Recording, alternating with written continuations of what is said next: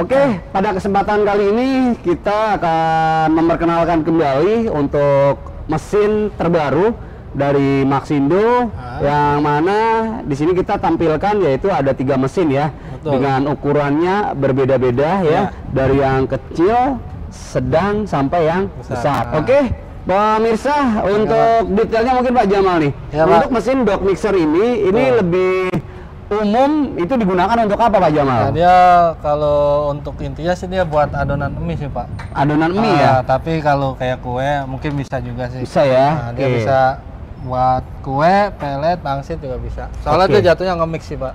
Oh ya, artinya lebih ke mengemik antara adonan dari tepung eh, atau terigu lah ya, Ah. dengan telur atau dengan bahan-bahan yang lainnya ya. Betul. Itu pun tergantung dari resepnya. Betul, nah.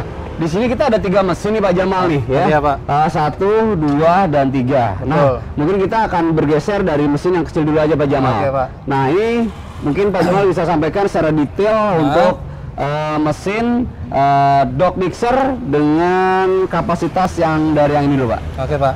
Nah ini dia dock mixer dengan tipe MKS HDM 15 Oke, 15, 15 berarti 15 kilo. kilo ya, Betul, bukan Pak. liter ya. Betul, bukan. Kilo, oke. Ah, per proses. Oke. Nah, dia di sini ada tutup. Dapatkan tutup. Nah, bahannya juga sudah stainless full ya, Pak. Oke. Nah, dia di sini ada kaki, dinamo dan ini roda untuk Ini apanya, Pak? Nah, ini untuk apa tuh? Kayak wadah ini, Pak. Penahan ya? Penahan. Oh, ya, pada Eh, saat kan di posisi itu ya. Nah, seperti Oke, ini, Pak. Oke, oke. Kayak saya contoh. Nah, Oh, iya iya iya iya. dicopot. Ini bisa di Nah, Oh, untuk menuang lah ya, posisi Ah, menuang ya. betul. Oke, wah, udah udah terpikir ya artinya untuk wah ini buat penahan agar tidak baret ya. Betul. Oke. Terus untuk listriknya berapa Pak Jamal? Dia menggunakan listrik 1100 watt, Pak. 1100 watt dengan kapasitas yang dihasilkan 15 kilo per proses. 15 kilo per proses. Ah. Oke. Terus sudah dilengkapi dengan kabel ya. Ini Kabel. penggerak penggeraknya pakai Dinamo. dinamo. Dinamo. Oke. Dia juga ada pembel sama gear-gear. Nah, keunggulan dari mesin ini dia bisa dua putaran, Pak. Oh, dua putaran ya? Ah. Putaran arah apa gimana nih, Pak? Iya, putar arah. Oke. Kita coba ya. Oke, seperti ini, Pak. Nah, ini dia manual booknya. Nah, ada manual booknya sudah dapat ya. Nah, dia seperti ini. Posisinya ke belakang, putarnya. Oh, ini ke belakang ya. Ah. Ke kita lah ya. Oke, Oke, kita terus? matiin, dia posisinya ke depan. Oh, iya iya iya. Jadi bisa di eh, balik arah ya. Betul. Mau ke depan mau ke belakang ya. Ya. Oke. Oke.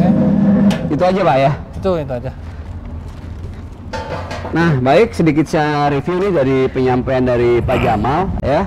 Jadi untuk mesin dock mixer 15 kilo ini Hmm. yaitu dengan tipenya adalah MKS HDM 15 ya. Di sini menggunakan listriknya adalah di 1000 100. 1100 dengan kapasitas yang dihasilkan adalah 15 kilo per proses Betul. ya. Di mana tadi sudah dilengkapi dengan tutup Betul. ya manual booknya dan untuk di dalamnya pun sini sudah stainless steel full juga sama ya body untuk samping sini juga stainless steel juga Ya. kecuali untuk rangkanya ya Rangkanya. untuk rangkanya ini dia yaitu menggunakan besi siku ya Ya, betul. yang di finishing menggunakan eh, cat warna abu-abu. Nah, di sini juga sudah dilengkapi dengan karet pengaman. Jadi yang fungsinya adalah pada saat nanti akan dituang dia ada penahannya. Nah, seperti ini. Oke. Nah, jadi tidak merusak dari si body. Seperti itu tujuannya. Oke. Nah, terus untuk yang lainnya, di sini mesin ini sudah dilengkapi dengan pengatur ya. Nah, di sini pengaturnya adalah bisa digunakan untuk perputaran baik itu ke belakang maupun ke depan seperti itu ya. Nah, ini seperti ini. Cara membersihkan pun juga sangat mudah karena posisinya seperti ini, tinggal disiram air, buang tadi aja selesai ya. Betul, Pak. Nah ya, jadi simpel sekali. Nah ini tutupnya gas stainless ya. Ini sengaja nih. Nah, ada. memang saya sisakan. Nah, jadi dia dilapisi. Nah seperti ini nanti jadinya. Oke. Nah ya. Oke. Oke Pak Jamal. Iya, Pak. Berarti untuk yang eh, Mesin. mesin dock mixer HDM 15 ini kita sudah sampaikan nih ya Betul. untuk dari spesifikasinya. Oke. Nah yang kedua adalah mesin apa nih? Dengan sama, Pak. ya. Ah, cuma beda kapasitas. Oke. Kalau yang ini Dia dengan tipe MKS HDM 25. HDM 25 ya. Betul, Pak. Nah, di HDM 25 itu yang membedakan di apanya aja, Pak? Ini kapasitas. Dari tabungnya juga beda. Lebih besar ya. Ah, betul. Nah, motor dinamonya juga pasti beda, Pak. Sama Oke. listriknya juga pasti beda. Oke, untuk listriknya sendiri berapa nih Pak Jamal? Kalau yang HDM 25 dia menggunakan listrik 100 eh 1500 watt. 1500 watt dengan 1500 kapasitasnya watt. 25 ya. 25 per oke, proses. oke. Nah, jadi secara fungsi sama, Ah. yang membedakan adalah dari kapasitas dan wattnya ya. Betul. Untuk wattnya yang HD, eh, MKS HDM 25 ini untuk wattnya adalah 1500 Hmm. Ya. dan untuk kapasitas eh, produksinya atau prosesnya, Ah. per proses maksud saya Ya. itu di 25 25 kilo. Nah, ya, di sini juga dilengkapi dengan eh, buku tadi ya, Ah. untuk manual book lah. Manual book. Oke. Dan untuk proses pembuat eh, proses kerjanya sama semua ya. Sama, Pak. Bisa maju mundur beda, juga ya. ah, cuma beda kapasitas saja dia. Beda di kapasitas dan listrik. Betul. Nah, yang berikutnya yang ketiga nih Pak Jamal Oke. nih. Yang ketiga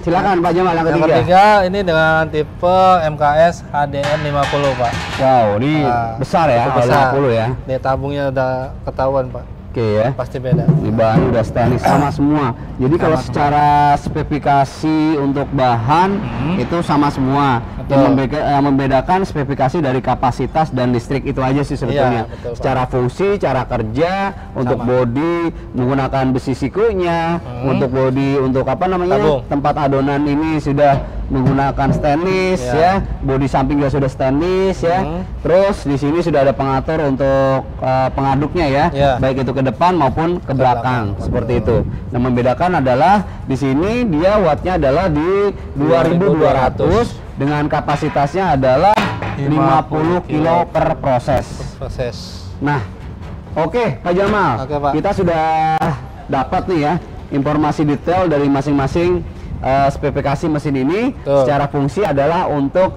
membuat adonan Ah. percampuran dari tepung terigu dan Ah, juga bahan-bahan yang diperlukan. Ah. Dapatkan produk ini di toko mesin Maxindo terdekat di kota-kota Anda. Kunjungi situs kami di www.maxindo.com. Maxindo, mesinnya pengusaha sukses.